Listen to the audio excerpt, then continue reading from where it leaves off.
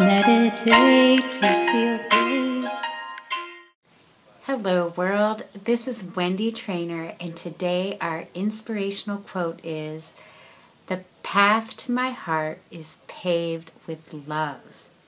Some of us may have paths to our heart being paved with gold, but know this if we want to truly, truly be happy, we're going to have to repave that road with love.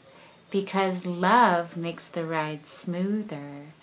Love makes us feel groovy and happy. Love is our nature.